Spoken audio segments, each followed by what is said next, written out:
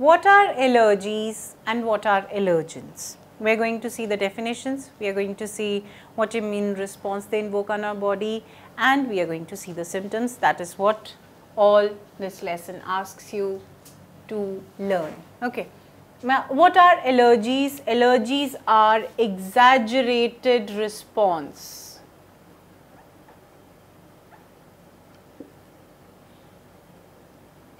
Do you suffer from any sort of allergy where your eyes get watery, running nose and sneezing sort of uh, experiences felt as soon as some factor of environment comes into the scene.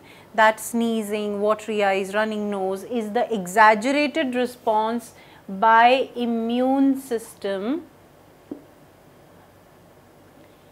to a particular allergen. Now, what is allergen? Allergen is the antigen that is present in environment. So, I hope you get an idea what we have to present if we are asked about definition of allergies and allergens. Antigen present in the environment which has the capability to trigger an exaggerated response of immune system is known as allergen. That triggered response is allergy and how does it take place? First of all because antigen is involved and to an antigen immune response is happening. So, we have generation of antibodies that will be taking place.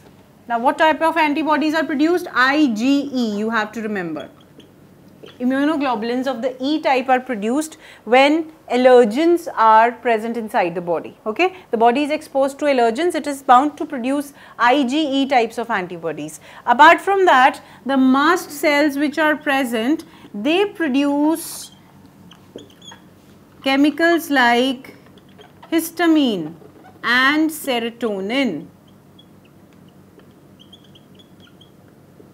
Histamine and serotonin are produced by mast cells which is responsible for the symptoms which the allergen brings about. Okay? The symptoms of the allergy are produced by release of histamine and serotonin by the mast cells. Against the allergen, the proteins which would come to engulf that allergen or the antigen would be IgE type. Now, you have to remember the types of uh, allergies if you can. There is the simplest one is asthma many children who live in uh, modern day life of cities they are prone to asthma because our immune systems are getting degraded day by day. Our immune strength is declining day by day. That is because of our uh, sedentary lifestyle I would say. And thanks to the pollution conditions that we have we have the example of hay fever. Certain pollens will be responsible for bringing about this exaggerated response okay? We have pollens, we have animal dander, we have dusts, not dust sorry, we have dust, we have mites. Okay. There are certain allergens in the environment which can bring about this allergic response which is exaggerated release of histamine and serotonin by mast cell as well as to counter the antigens which have entered the body, we have the release of IgE. This is what allergy is. Now, one thing you have to keep in mind that because this um, this immune response has its symptoms in the form of runny nose, uh, red eyes, itchy eyes, you know the eyes give a burning sensation, you sneeze a lot if you if the allergen is provided to the person in the immediate environment. So, how to overcome such symptoms? Certainly, we have uh, the steroids which come to the rescue of a person suffering from allergy. Okay. Steroids, we have other drugs which contain uh, epinephrine, okay, adrenal hormones that are also responsible for uh, slowing down this immune response or curtailing the immune response and then the symptoms slow down. Apart from steroids, epinephrine, we also have antihistamines which could be used to control the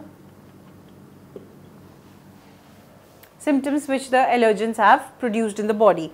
And how do we identify that if the person is suffering from an allergy, one thing is that symptoms are going to show. Otherwise, if you have to find out if the person is su suffering from a specific allergy, you have to provide small amount of the allergen and see what response that allergy is bringing about in the body. What that particular antigen has caused inside the body, what type of response has occurred inside the body.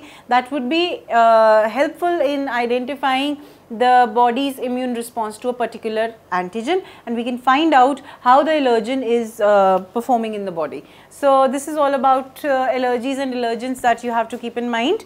What is allergy? What are allergens? How the allergy takes place? What are the symptoms of allergy? And what if the allergy happens? What are we supposed to do? We are supposed to take these supplements so that the allergy symptoms are controlled. What are the various allergens? We have written over here. What are the various types of allergy? That also you know. So, this is all about allergies and allergens.